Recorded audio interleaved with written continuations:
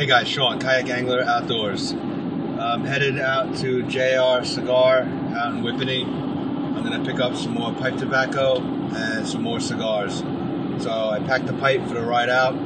Smoking Eileen's Dream. Uh, uh, Irish cream and white chocolate truffles. Uh, don't really taste any chocolate, but it's got a nice cream uh, flavor to it. It's got a nice uh, aroma. Um, no, uh, no tongue bite. Uh, nice, nice cigar. Uh, pipe rather. I'm just so used to smoking cigars. I don't smoke the pipe that often. But on my way out there, should be there in about 10 minutes or so. And uh, gonna pick up some goodies. So I'll show you guys everything that I get. See you in a bit.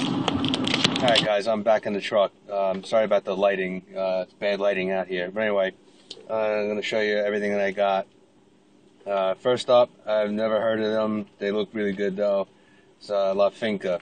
It's a nice, uh, nice ring size. It's six inches by 60 ring. I always like a bigger ring size for my cigars. La Finca, uh, bundle of 20. Uh, I also got some more pipe tobacco. It's from CAO Cherry Bomb. It's vanilla cherry and black Cavendish. So I'll probably give this a try during the week. The La Fincas, I'm gonna probably smoke one tomorrow. And then uh, I always usually buy a couple of singles. I've had this before. This is really good. Romeo and Juliet Havoc. Um, gonna have this probably next weekend smoke that next weekend. And then for the ride home, uh, another one I've had before, H. Upmann Legacy. This is really good too.